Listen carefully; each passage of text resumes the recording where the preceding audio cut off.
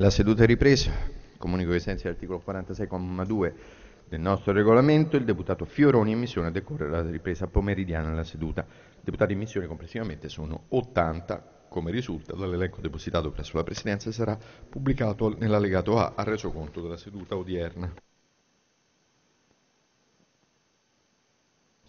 Riprendiamo ora la discussione del disegno di legge 3012A, legge annuale per il mercato e la concorrenza. È iscritta a parlare l'onorevole Lara Ricciatti. Prego. Grazie signor Presidente.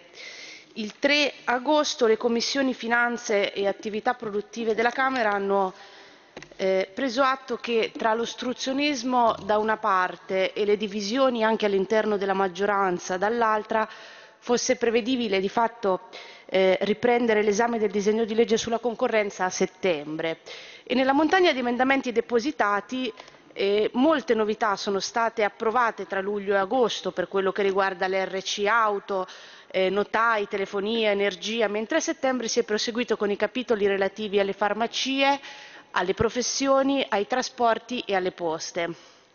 Nel pacchetto di misure votate prima della pausa estiva